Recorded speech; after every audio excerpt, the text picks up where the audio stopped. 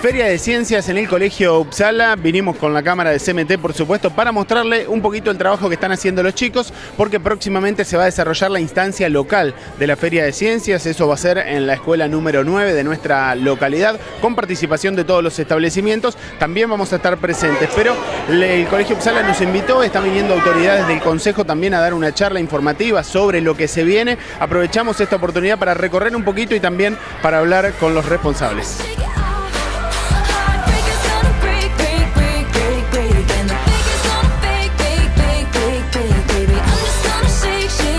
Shake, shake, shake, shake. I shake it off, I shake it off. I never miss a beat. Nos, están- nos vamos a acercar por acá a hablar con dos señoritas. ¿Su nombre? Camila. Santina. ¿Y su nombre? Joaquín. Chicos, cuéntenme, a ver, ¿de qué se trata el stand que están mostrando hoy en la Feria de Ciencias? Nosotros estamos representando las máquinas de Golver. ¿Y de qué se trata? Que a partir de un objetivo simple lo hacemos co- complejo que sería complicado. Por ejemplo, en nuestro caso, ubicar una pelotita sobre un vaso. Que vos simplemente la podés tirar sobre el vaso, pero en nuestro caso tienen que hacer todo un recorrido para finalmente caer sobre el vaso. tuvo varios defectos. Los autos, como por ejemplo ahí ven, los autos se rompían eh, y tuvimos que buscar varias soluciones a varios problemas. Y bueno, eh, siempre nosotros, aunque esto parece un juego, tiene un está muy bueno para poder estudiar física, porque tiene conceptos de choque, de, pasar de energía potencial a cinética y todo eso. Pero bueno, ahora la vamos a hacer andar. Uno. Dos, tres.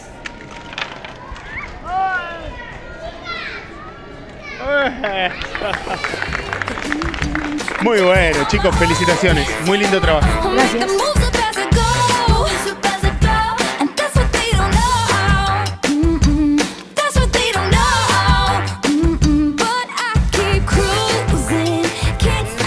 Estamos con su nombre.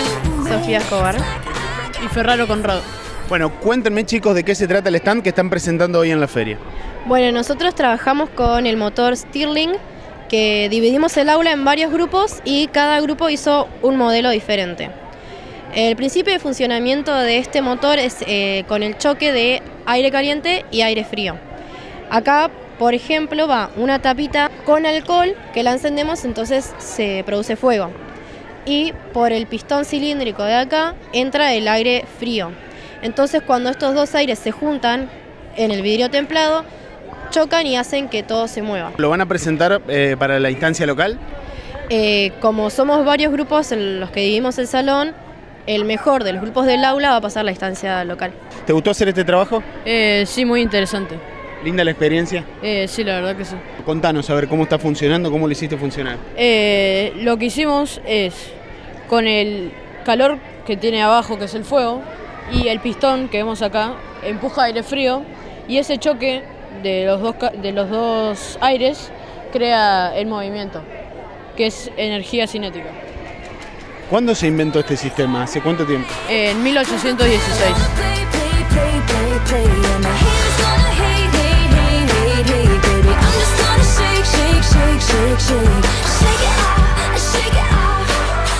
Seguimos recorriendo stand. Estamos con su nombre Juan Pedro. y el tuyo. Sofía. Cuéntenme de qué se trata el trabajo, el stand que presentan hoy en la feria. El circuito. Más bien, eh, el impacto de cada del calor de cada lamparita. Eh, hicimos un experimento en un pote de helado, pusimos un portalámparas con una lamparita y lo conectamos al cable, después lo pasamos por el interruptor y lo enchufamos y veíamos si funciona y medíamos el calor, de cuánto calor emitía.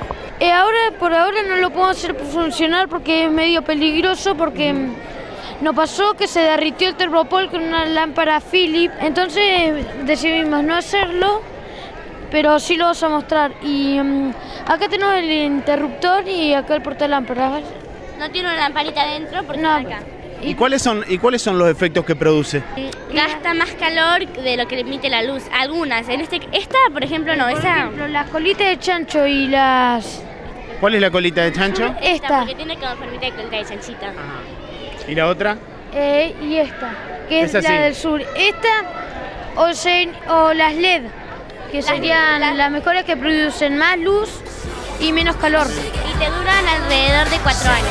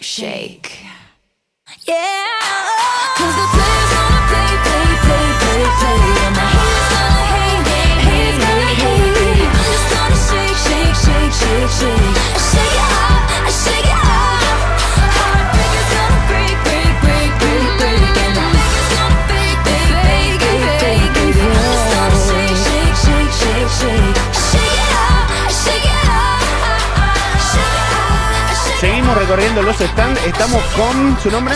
Amilcar. Guillermina. Máximo. Bueno, los chicos son parte integrante del Club de Ciencias del Colegio Uppsala. Cuéntanos, ¿cuál es el trabajo que están presentando hoy? Estamos difer- eh, eh, mostrando diferentes cosas. Yo voy a mostrar qué le pasó a nuestro gallinero. ¿Qué le pasó a nuestro gallinero? Nosotros teníamos 12 gallinas. Un día, un estrepitoso día, vino un perro, bueno, dos o más, y entraron y se las comieron enteras. Ahí hay una foto si quieren ver. Lo desarmamos, el gallinero, y lo rehicimos. En ese lugar las gallinas ahora están más, es más seguro ese lugar. Tenemos menos gallinas, por supuesto, pero ahora los perros no pueden entrar. Tenemos seis gallinas y un gallo. Y estamos vendiendo lo- eh, los huevos para así financiamos nuestro, eh, financiar nuestro viaje y el viaje del jardín de primer grado. Nosotros estuvimos haciendo una huerta y en la huerta estábamos plantando ajos.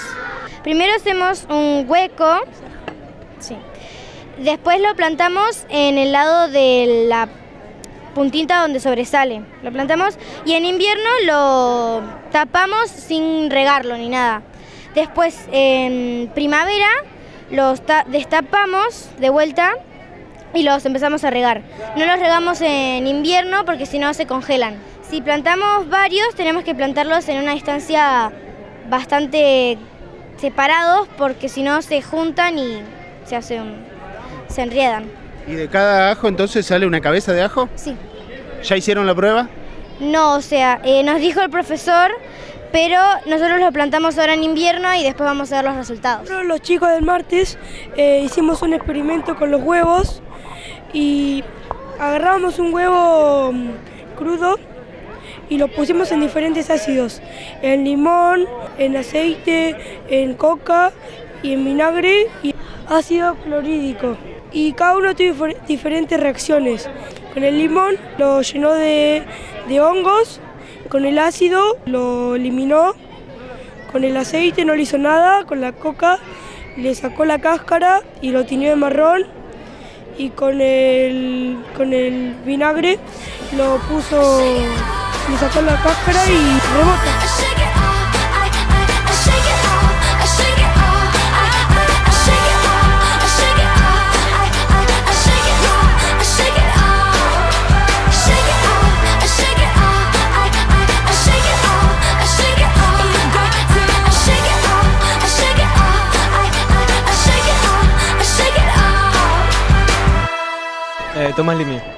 Dante Velázquez. ¿De qué se trata el trabajo que están presentando hoy en la feria? Eh, nosotros en el Club de Ciencia a nivel secundario eh, vimos que en la escuela se tira mucho papel. Entonces lo que hicimos fue poner tachos de basura para tirar hojas de carpeta y todas las hojas que están acá para, para ver cuánto papel se tiraba en 62 días de, de clase. Luego de esos 62 días de recolección vimos que teníamos, estábamos en lo correcto. Recolectamos una cantidad de 25.000 hojas, que eso equivale a 10.000 a 10.000 pesos. Nuestra idea es presentarlo en las otras escuelas para que lo hagan y lo donen al Hospital Garrahan, porque todo esto vamos a compactarlo, ponerlo en cajas y donarlo al, al Hospital Garrahan, que ellos lo reciclan y hacen papel reciclado. Esto también re- re- representa un impacto negativo en la economía y en lo ambiental. En la economía porque los chicos rayan las hojas y las tiran ha- haciendo un dibujito nomás. Y los padres, al acabarse sus hojas, tienen que comprarle más hojas. Y en lo ambiental porque en 62 días de clase se tiran 25.000 hojas recolectamos. En un año es una barbaridad de hojas. Y, pero nosotros lo donamos. En cambio, otras escuelas no lo hacen y todo esto, las hojas que desperdician, las tiran y van al, al basural, que es de cielo abierto, y esto puede contaminar nuestro ambiente.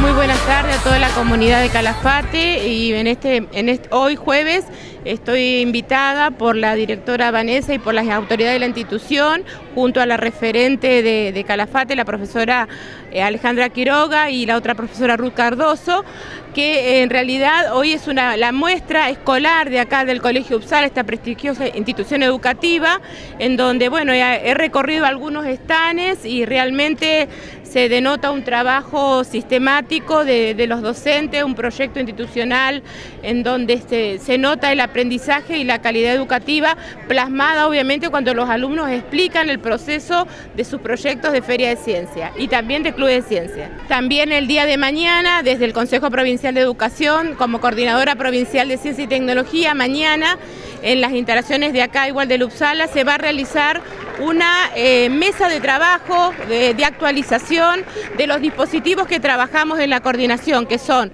ferias de ciencia, arte y tecnología, clubes de ciencia, olimpiadas y capacitaciones. Todos esos temas van a ser abordados para sacarse duda y también para poder, digamos, eh, trabajar sobre todos estos conceptos. Eh, Vanessa, bueno, en un año complicado el Uppsala hace punta con esta muestra, eh, están trabajando duro de cara a lo que va a ser la instancia local y además se ve la motivación en los chicos. ¿Cómo, cómo estuvo esta feria? ¿Cómo la viviste? Eh, la verdad es que con mucha alegría, bueno, nosotros elegimos un eje transversal para todos los proyectos, que este año fue el impacto y cada uno de los grados lo abordó según la temática específica que haya elegido. Y de esta feria escolar van a salir los proyectos que van a participar de la instancia local y los que resulten exitosamente valorados van a pasar a la instancia provincial. Por eso para nosotros es un honor que Betty nos esté acompañando porque ella nos va a brindar después de terminar de visitar los stands muchas pautas con respecto a aquellas cosas que tengamos que ajustar o potenciar en cada uno de los proyectos que abordamos este año. Bueno, Alejandra, que es la coordinadora local de la Feria de Ciencias, eh, contanos, ¿para cuándo está prevista la fecha eh, y dónde va a ser? Bien, eh, empezamos mañana, eh, es una alegría en primer lugar darle la bienvenida a Betty. Empezamos mañana con esta reunión informativa para los docentes y directivos interesados en participar en Feria de Ciencia. La instancia local está dada para el jueves 25 y viernes 26 de agosto, que con recinto de feria la EPP 9 como el año pasado. ¿Cuáles son las expectativas en cuanto a convocatoria o, o cantidad de participación de los chicos, teniendo en cuenta, sin dejar de lado, que est- estamos atravesando un año complicado para la educación? A pesar de la situación que estamos viviendo, eh, lo que le comentaba Betty, la- las invitaciones se realizaron a los establecimientos y los docentes que lograron trabajar o están trabajando están muy entusiasmados por el, justamente por el entusiasmo y el interés de los chicos. Muchas veces trabajar con proyectos que luego son mostrados en Feria de Ciencia es este, más adecuado eh, justamente cuando a los docentes, no solamente en este año, sino que muchas veces no llegamos a completar el, el programa, entonces con proyectos tratamos de trabajar durante todo el año los contenidos prioritarios. ¿no? Así que eh, eh, somos muy positivos y bueno, eh, bregamos y tenemos confianza en que el conflicto se solucione lo más antes posible. En los chicos vemos la- las ganas y también la necesidad de que siga creciendo, que siga desarrollándose este, este evento, tanto cuando se hace local, regional, provincial y nacional, porque Santa Cruz ha tenido también importantes referentes y premios a nivel nacional. Sí, a nivel nacional y a nivel internacional también. eh, nuestros alumnos de la provincia de Santa Cruz, eh, a través de diferentes dispositivos como las ferias de ciencia, bueno, como yo siempre digo, eh, recorren el mundo y eso es muy importante para la educación de nuestra provincia, para poder seguir ayudando y colaborando desde estos lugares para que nuestras escuelas, nuestros alumnos puedan tener otros, otros espectros, otro futuro para mejorar su calidad de vida, obviamente.